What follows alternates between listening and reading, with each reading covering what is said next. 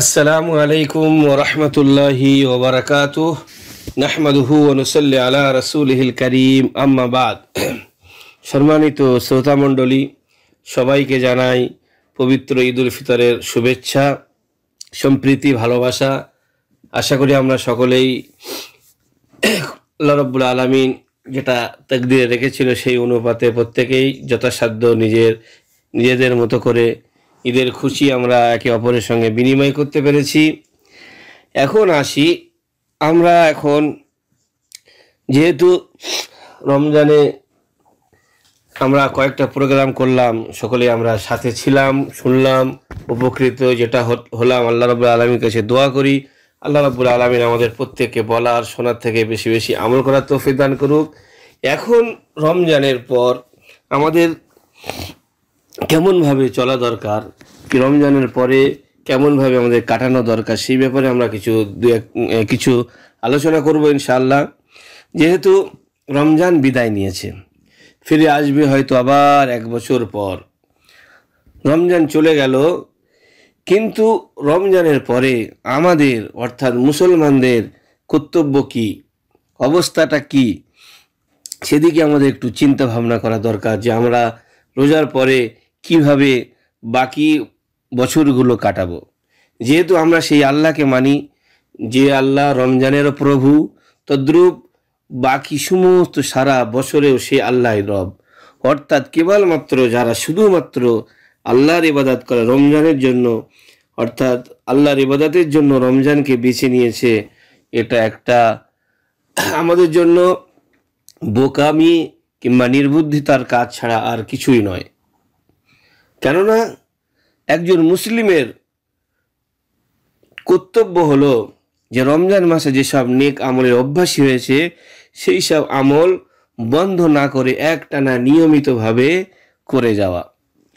কেননা আল্লাহ রাবুল আলমী জানাচ্ছেন যে ও আবুদ রব্বাকা হাত্তা ইয়াকিন অর্থাৎ মৃত্যু আশা অবধি তুমি তোমার প্রতিপালকের ইবাদাত করতে থাকো এবং মহানবী সাল্লা সাল্লাম বলেন যে খৈরুল আমালি আদোয়া মুহা ওইন কল্লা, অর্থাৎ আল্লাহর নিকট সব থেকে সেই আমল অধিক পছন্দনীয় যা লাগাতার করে যাওয়া হয়, যদিও তা পরিমাণে কম হয়।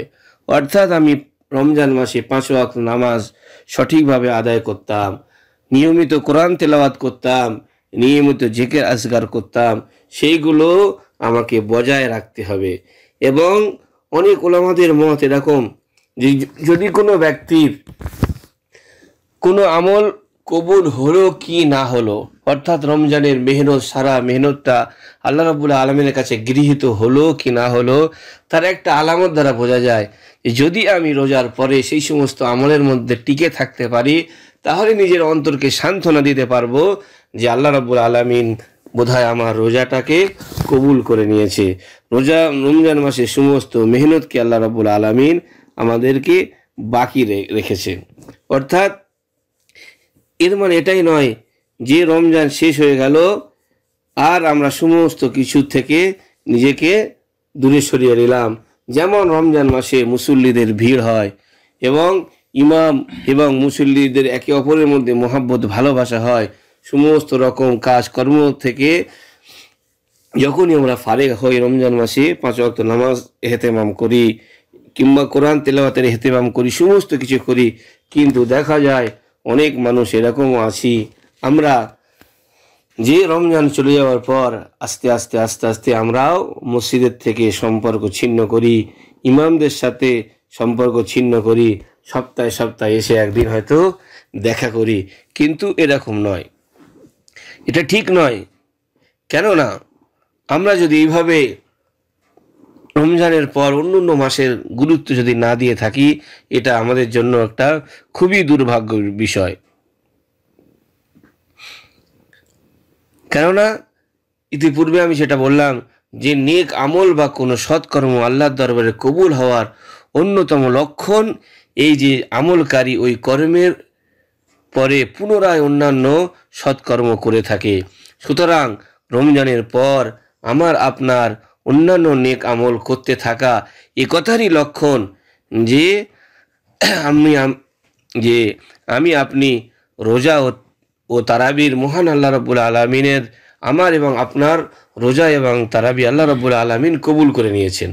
আর হ্যাঁ খবরদার, পুনরায় আপনি আপনার ওই অবস্থায় কখনোই ফিরে যাবেন না। যে অবস্থায় রমজানের পূর্বে ছিলেন, অর্থাৎ আল্লাহ রাব্বুল আলামিন বলেন, ওয়ালা তাকুনু কাল্লাতি নাকাদাত গজলাহা মিম বাদি কুওয়াতিন আনকাসা। অর্থাৎ তোমরা সে নারীর মতো হয়েও না, যে তার সুতা মজবুত করে পাকাবার পর পাক খুলে নষ্ট করে দেয়। অর্থাৎ সারা রমজান একটা মেহনত করলাম, একটা পরিবেশ নিজের মধ্যে তৈরি করলাম, তৈরি করার পরে সেই জিনিসটা যদি আমরা নষ্ট করে দিই আল্লাহ রাবুল আলমিন কোরআনে সেই জিনিস সম্পর্কে আমাদের জন্য নিষেধ করছেন।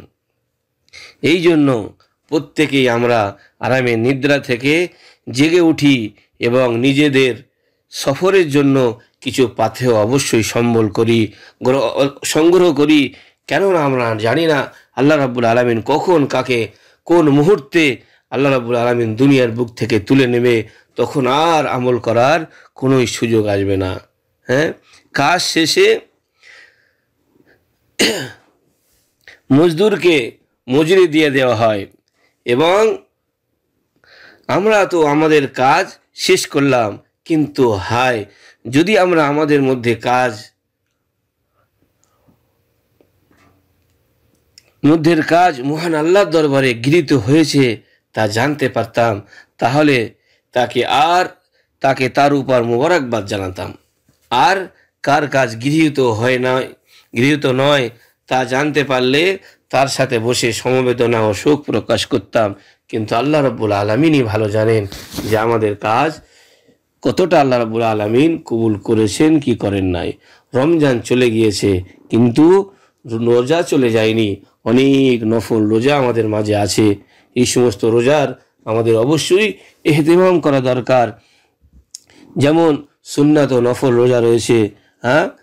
এবং সেগুলো হচ্ছে মহারামের রোজা তারপরে আপনার প্রতি সপ্তাহে সোম এবং বৃহস্পতিবারের রোজা, মাসে তিনটি করে রোজা। তদ্রূপভাবে আরেকটা বিষয় যেটা আমাদের অবশ্যই আমল করা দরকার, নবী সাল্লাহ সাল্লাম জানাচ্ছেন হয়তো আবু আইয়ুব আনসারি রাজি আল্লাহ তালাহ থেকে বর্ণিত আন আবি আইয়ুব আল আনসারি রাজি আল্লাহ তালাহ قال قال النبي صلى الله عليه وسلم من صام رمضان ثم اتبعه ستا من شوال كان كصيام الدهر অর্থাৎ যে ব্যক্তি রমজানের পুরা রোজা রাখলো এবং শাওয়াল মাসের ছয়টি রোজা রাখলো সে যেন সারা বছর রোজা রাখলো এই হাদিস এটাই প্রমাণ করে যে রমজানের এক মাস রোজা রাখার পর যদি কোনো ব্যক্তি ছয়টা রোজা রাখে, তাহলে সে সারা বছর রোজা রাখল। কেমনভাবে? আল্লাহ রাব্বুল আলমিন প্রত্যেকটা জিনিসের নেক আমলের দশ গুণ বৃদ্ধি করে তার বদলা। যেমন আমরা পাঁচ ওয়াক্ত নামাজ পড়ি, কিন্তু সব পাবো পঞ্চাশ ওয়াক্তের। তদ্রুপ কোরআনের যদি কোনো ব্যক্তি একটা হুরুফ তেলাওয়াত করে, তো একটা নেকি থেকে তাকে দশটা বাড়ানো হয়। এবং সেই তদ্রুপভাবে রমজানের যে আমরা তিরিশটা রোজা রাখলাম, তো তিরিশ দশকে তিনশো। এবং আরবি বছর যেহেতু তিনশো ষাট দিনে হয়, এই জন্য এই ছটি মাস, এই ছটি রোজা দশ গুণ করলে হয় ষাট, অর্থাৎ তিনশো ষাট দিন। অর্থাৎ যদি কোনো ব্যক্তি এই ছয়টি রোজা রাখতে পারে, তাহলে সে যেন সারা বছর রোজা রাখল। এখন একটা প্রশ্ন আসে যে যারা আমরা রমজান মাসের বিশেষ করে মহিলারা কিংবা যারা পুরুষেরা সফরে থাকার কারণে কিংবা অসুস্থ থাকার কারণে রোজা তাদের দুটো একটা কাজা হয়ে গিয়েছে, তো এই কাজা রমজানের রোজাগুলো তারা কখন পুরা করবে? দেখুন, কাজা রমজানের রোজা পুরা করা যেহেতু শাবান মাস পর্যন্ত সময় থাকলেও কিন্তু রোজা শেষ হওয়ার পরে পরেই যদি সমস্ত ওজোর থেকে সে পবিত্র হয়ে যায়, তাহলে সাথে সাথেই রোজা রেখে দেওয়া দরকার। অর্থাৎ কেন কাজা রোজা হচ্ছে? তার উপরে দায়িত্ব যতদিন পর্যন্ত সে কাজা রোজা করল না, কাজা আদায় করল না, ততদিন পর্যন্ত ফরজ তার মাথার উপরে বোঝ হিসাবে চেপে থাকল। এবং বিশেষ করে যারা এই হাদিসের ফাজি- ফজিলাত অর্জন করতে চায়, তাদেরও দরকার আগে তাদের কাজা রোজাগুলো পূর্ণ করে তারপরে এই ছটা রোজা রাখা। কেন? মহা নবী সাল্লাম বলছেন, যে ব্যক্তি রমজানের পুরা রোজা রাখল এবং তার সাথে এই ছটি রোজা রাখল, সে সারা বছর রোজা রাখার সব পাবে। কিন্তু যেহেতু আমাদের মদিন ইউনিভার্সিটির একজন শায়েখের আমরা একটা ক্লিপ শুনছিলাম, তিনি এই বিষয়ে আলোচনা করছিলেন যে ব্যক্তি রমজানের রোজা সম্পূর্ণ রাখতে পারল না, সে ব্যক্তি হাদিসের আওতায় কি আসবে? তার জন্য জরুরি হচ্ছে আগে তার এই হাদিসের ফজিলত নিতে গেলে আগে তার রোজার কাজাগুলো আদায় করতে হবে। তাহলেই সে এই ছটা রোজা রাখলে তার যে হাদিসের যে ফজিলত, সে ফজিলত সে প্রাপ্ত হবে। আর কেননা যে ব্যক্তি পুরো রমজানে রোজা রাখল না, তার জন্য এই হাদিস নয়। তার জন্যে এই ছটা রোজা কোনো ছটা রোজা তার জন্য নয়। অর্থাৎ যে ব্যক্তি রমজানের পুরো রোজা রাখল, তার জন্যই এই ছটা রোজা। এবং সে যদি রমজানের পুরো রোজা রাখার পরেই এই ছটা রোজা রাখে, তাহলেই সে পুরো বছর রোজা রাখার সবাব পাবে। অর্থাৎ এই হাদিস হাদিসের ফজিলত সে অর্জন করতে পারবে। আর যদি কোনো ব্যক্তি কাজা রোজার থেকে যায় এবং যদিও কাজা রোজা সাবান মাস পর্যন্ত রাখা যায় তবু এই হাদিসের ফজিলত অর্জন করতে গেলে আমার এটা ক্ষুদ্র মত যেটা, এটাই বলব যে আগে আমি কাজা রোজা পূরণ করে রমজানের রোজার গুনতিগুলো পুরা করি তারপরে আমি এই ছটা শাওয়াল মাসের এই ছটা রাখব। তাহলে ইনশাল্লাহ এই হাদিসের মধ্যে যে ফজিলাত আছে, সেই ফজিলাত আমিও পেয়ে যাব। আল্লাহ রাব্বুল আলমিন আমাদের প্রত্যেকেই যেমন রমজান মাসে নিয়মিত নামাজ, কালাম, তেলাওয়াত, জিকির, আজগার করতে পেরেছি, বাকি বছরটাও ওইভাবেই আমরা আল্লাহর ইবাদাতের মধ্যে কাটাতে পারি।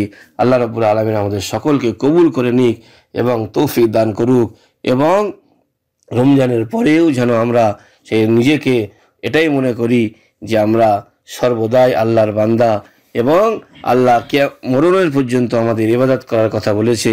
এই জন্য শুধু রমজান মাসের পরে আমরা নিজেদের গা হালকা করে সমস্ত আমল থেকে নিজেদেরকে না সরাই।